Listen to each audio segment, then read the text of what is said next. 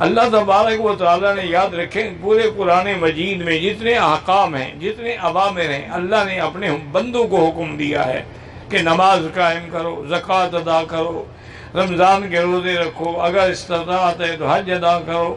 یہ سارے احکام مخلوقات کے لیے ہیں۔ لیکن اللہ پاک فرماتے ہیں، ایک کام ایسا ہے جو میں بھی کرتا ہوں اور میرے فرشتے بھی کرتے ہیں۔ اور وہ کام کیا ہے کہ میں اپنے نبی پہ سلاد بھیجتا ہوں۔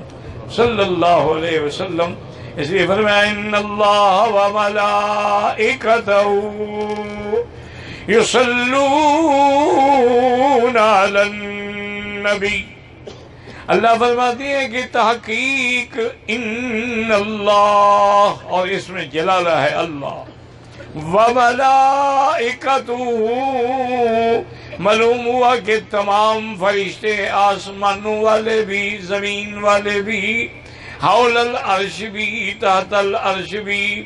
تمام جو ہیں سب کے سب سلاد بھیجتے ہیں، سلام بھیجتے ہیں۔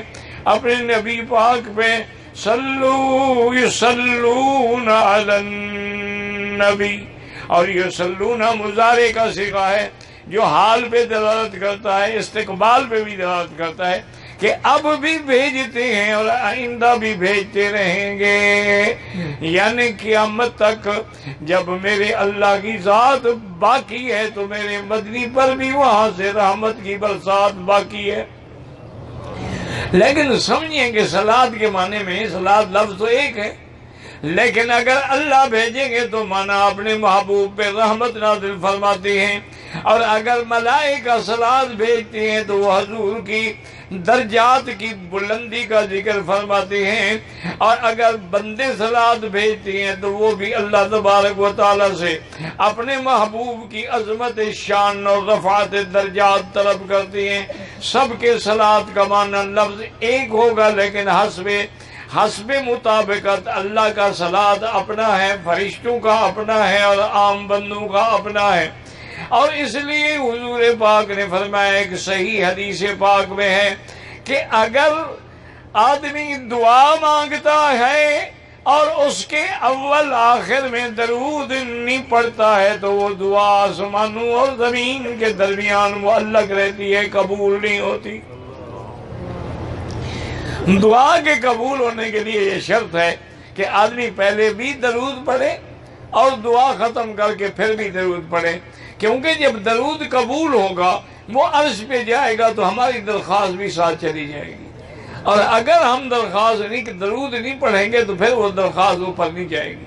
اور اسی طرح حضور پاک صلی اللہ علیہ وسلم نے فرمایا کہ صرف یہ نہیں کہ تم اگر درود پڑھو گے، تم ایک دفعہ پڑھو گے اور اللہ تعالیٰ تم پر اپنی دس رحمتیں نازل فرمائیں گے۔ تمہارے دس گناہ گر جائیں گے اور دس حسنات لکھ دی جائیں گی۔ ایک دن میرے مدنی صلی اللہ علیہ وسلم، جب نام آئے دروشی پڑھو نا شوق سے۔ اللہ کے بندے، اللہ نے موقع دیا ہے، حرم میں بیٹھے ہو، کعبے میں بیٹھے ہو، مسجد الحرام میں بیٹھے ہو اور باوضو بیٹھے ہو۔ ایک نماز پڑھ لی ہے دوسری کے انتظار میں بیٹھے ہو یعنی حکم سلاد گویا کہ نماز کے حکم میں ہے۔ تو دل سے درود شریف پڑھ لیں تاکہ ایک تو ہمیں ایک لاکھ ملے گا اور پھر اللہ کی دس لاکھ رحمتیں نازل ہوں گی۔ اللہم صلی علی سیدنا محمد وعلا آل سیدنا محمد وبارک وسلم علیہ۔ ہم اللہ سے درخواست کر رہے ہیں یاد رکھیں کیا اللہم یا اللہ آپ اپنے حبیب پہ صلاۃ و سلام بھیجیں ہم گناہ گار ہیں، بد کردار ہیں، ہماری زبانیں بھی گندی ہیں، ہمارے اعمال بھی خراب ہیں۔ ہم اس قابل کہاں ہیں کہ حضور کے دربار میں درود بھیجیں؟ لیکن آپ چونکہ ارحم الراحمین ہیں، آپ رحم فرما کے ہمارے درود جو ہیں وہ حضور پہ بھیجیں۔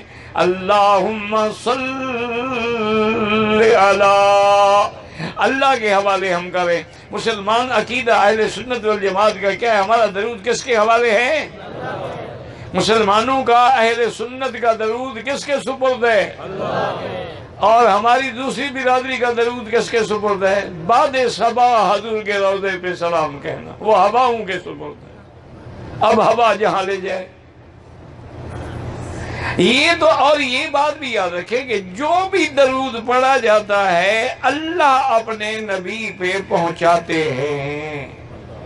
اب ان جگہوں میں نہ پڑھیں کہ پہنچانے کا کیا مطلب ہے کہ ان کو کہا جاتا ہے کہ فلاں ابن فلاں۔ اللہ جیسے بھی چاہے انہوں نے فرما دیا ہے، حضور نے بھی فرما دیا ہے کہ جو تم مجھ پہ درود پڑھو گے دور سے، وہ مجھے پہنچایا جاتا ہے۔ اور جو میرے روزہ مبارک پر مواجہہ میں آ کر سامنے کھڑے ہو کے سلاۃ و سلام پڑھو گے، فرمایا میں اس کو سنتا ہوں۔ اور ایک حدیث میں ہے، صرف یہ نہیں سنتا ہوں، فرمایا کہ میں سنتا بھی ہوں اور اس کو جواب بھی دیتا ہوں۔ اس سے بڑی خوش نصیبی کیا ہو سکتی ہے؟ اسی لیے میں عرض کر رہا تھا کہ ایک بزرگ نے بڑا عجیب لکتا لکھا ہے۔ انہوں نے کہا کہ مسلمانوں کا جو درود ہے، عقیدہ ہے، اس میں اللہ کا نام بھی ہے سروات بھی ہے برکات بھی ہے، آل ابراہیم کا نام بھی ہے، اللہ کی تمجید بھی ہے۔ اور ہمارے بریلوی حضرات کا درود جو ہے، یہاں تو ہم اللہ کا نام پہلے لیتے ہیں۔ اللہ صلی اللہ اللہ پہلے ہے کہ نہیں؟ ان کے ہاں اللہ پیچھے ہے۔ السلام والسلام علیکہ یا رسول اللہ۔ تو اللہ بعد میں ہو آخر میں ہوا۔ تو ہمارا تو سب سے پہلے اللہ کے اللہ کے سوا گزارا ہی کوئی نہیں۔